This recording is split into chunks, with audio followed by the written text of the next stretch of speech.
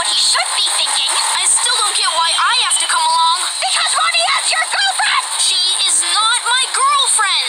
Lincoln, we are literally crossing a bridge! Do you really want to get into an argument with me?